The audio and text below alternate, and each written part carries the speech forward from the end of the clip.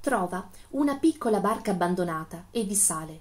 Prende a remare con tutta la forza che ha e non smette fino a che non raggiunge la riva opposta impiegandoci tutta la notte. Solo allora si sente al sicuro e si siede a riposare all'ombra di un fico. Dopo aver fatto una scorpacciata di frutti riprende il viaggio. La seconda tappa è monte alto. Lo scala fino alla sommità dove c'è un ghiacciaio bellissimo e poiché in cima il freddo è glaciale scende velocemente lungo un sentiero ripido che conduce alla palude dei sospiri. Quest'ultima è un luogo umido e caldissimo. Occupa una superficie sterminata che solo in pochi attraversano senza morire. L'acqua stagnante e l'aria malsana la rendono una zona piena di pericoli tra i canneti e i giunchi infatti vive una quantità di insetti serpi bisce d'acqua e salamandre. A vedere quella zona ara si sente perso. Pensa che non ce la farà mai a passare la palude e che morirà da lì a poco. Angosciato e tristissimo si mette a piangere pensando alla sua sorte. Ma sente in lontananza un canto delicato e vede due ombre che si muovono tra le canne.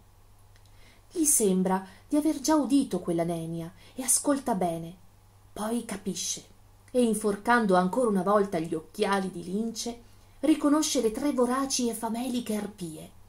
Deve scappare subito più in fretta che può ma come fare?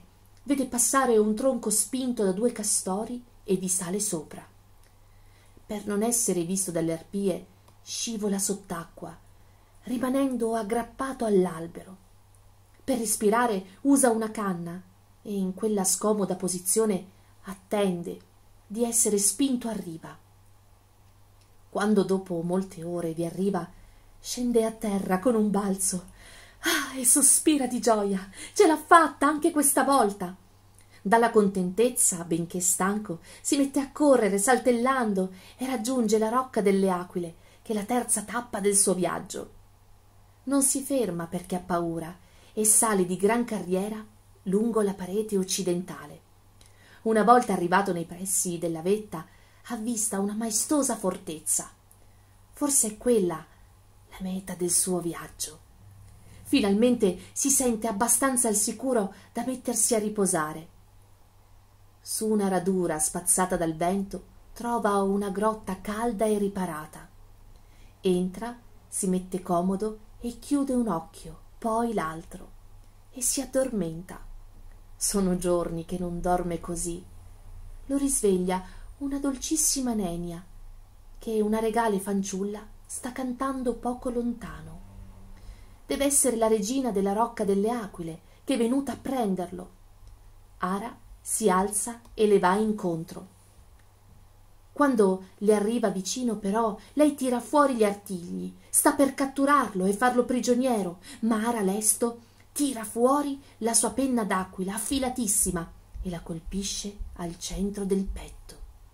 L'arpia con un urlo lacerante cade morta sulla roccia rotolando giù per la scarpata. Con un sospiro di sollievo ara volge lo sguardo verso la rocca cammina lentamente fino al grande portone di legno che si apre al suo passaggio e le guardie sei topi muschiati con elmo e corazza gli fanno l'inchino e lo accompagnano dai sovrani. I sovrani sono due splendidi felini di origini persiane e con un mantello lungo e striato lo stanno aspettando sono i lontani cugini di regigatta e regattone i sovrani di gattopoli che abitano nel castello dei desideri.